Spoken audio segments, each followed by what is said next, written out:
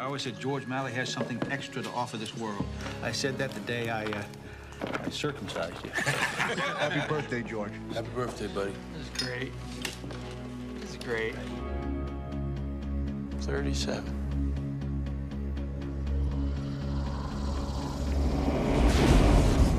Anybody see that? That- That light? There was a noise. Did you, did you hear it? The man's inebriated. I'm not drunk. Can't sleep. And you?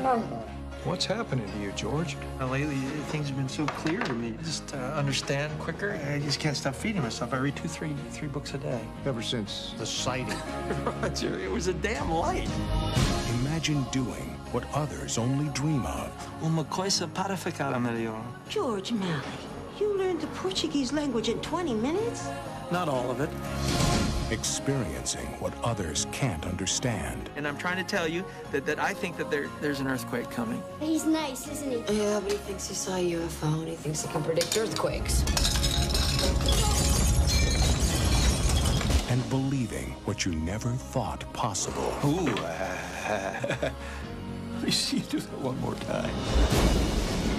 It's a damn mistake, is what it is. It was supposed to happen to someone smart, but it didn't happen to me.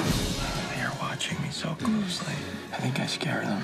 You're not alone. People have been doing astounding things, things we can't explain. Can't they just look in his eyes and see who he is?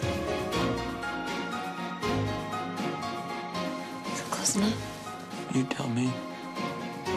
It's pretty close. What do you mean by genius? He's basically off the chart. I don't think he's testable. If you think that's something, you should see him move stuff with his brain. Would you uh, love me the rest of my life? No. I'm gonna love you for the rest of mine.